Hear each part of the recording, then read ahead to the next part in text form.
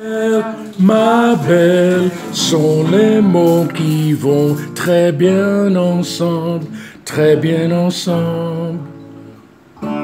Michel. Ah, sorry, this is wrong.